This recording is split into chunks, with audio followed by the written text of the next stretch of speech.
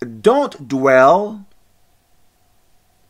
upon the bad that someone is doing or has done to you?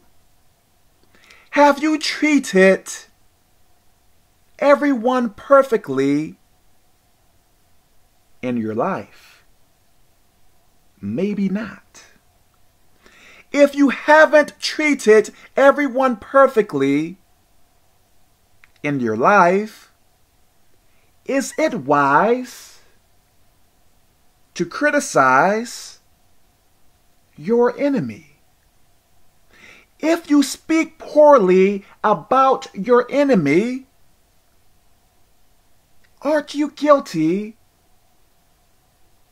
of some of the things you accuse others of, category wise?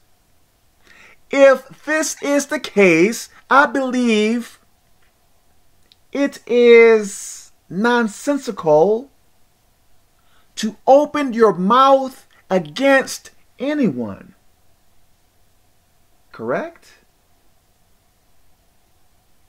Let me stop here. God bless you.